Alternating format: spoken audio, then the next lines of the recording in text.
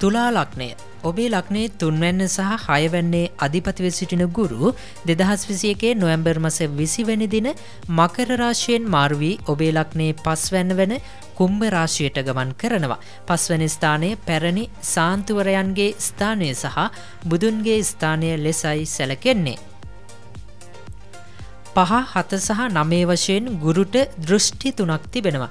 ඒ ආකාරයට කුම්ඹලක්නේ සිටින ගුරු ඔබේ රාශියයේ නමය එකොළහස් සහ පළවන රාශිවලට පැමිණෙනවා.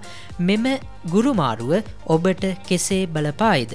පවුල තුළ සතුට ඇතිවෙන කාලයක්. ආදරයෙන් සහ ප්‍රීතියෙන් පිරී යන කාලයක් ලෙසද මේ කාලය තුලා ලක්න හිමියන්ට සැලකිය හැකි. පවුලේ සාමාජිකයෙන් අතර සමඳතාවයන් වර්ධනය වනවා. දරුවන් සමඟ යහපත් සමඳතාවයන් ඇතිවන කාලයක් ලෙසද මේ කාලය සැලකෙනවා.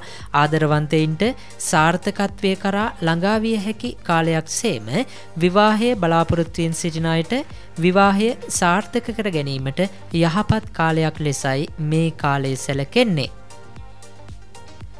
අමුසමියන් අතර සමඳතාවයන් දියුණු වන අතර අන්‍යෝන්‍ය සමඳතාවයන් ඇතිවිය හැකි කාලයක් ඔබේ ව්‍යාපාරය වේගෙන් දියුණු කර ගැනීමට තුලාලක්න හිමියන්ට මේ කාලය ඉතාමත් යහපත් වෙනවා කොටස් වෙළදාමෙන් ලාභයක් ලබා ගැනීමට යහපත් කාලයක් ලෙසද මේ කාලය හඳුන්වන්නට පුළුවන්.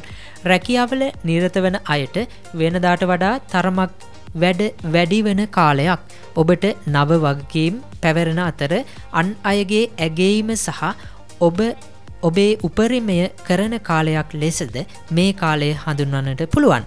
හවුල් ව්‍යාපාරවලින් වැඩි ලාභයක් ලැබෙන අතර පාසල් සිසුන්ට වෙනදාට වඩා හොඳ අධ්‍යාපනයක් ලබා දෙන කාලයක් ලෙසයි තුලා ලක්න හිමියන්ට මේ කාලය සැලකෙන්නේ ගුරුවරයා සහ දෙමවපියන් අතර සහයෝගය වර්ධනය වෙනවා. විශේෂයෙන් තුලාලක්න හිමියන් ඔබේ සෞඛ්‍ය තත්ත්වය යහපත් වුවද ආහාර ගැනීමේදී ඒ කෙරෙහි වැඩි අවධානයක් යොමු කිරීමට අවශ්‍ය වන බවද මතක තබා ගන්න.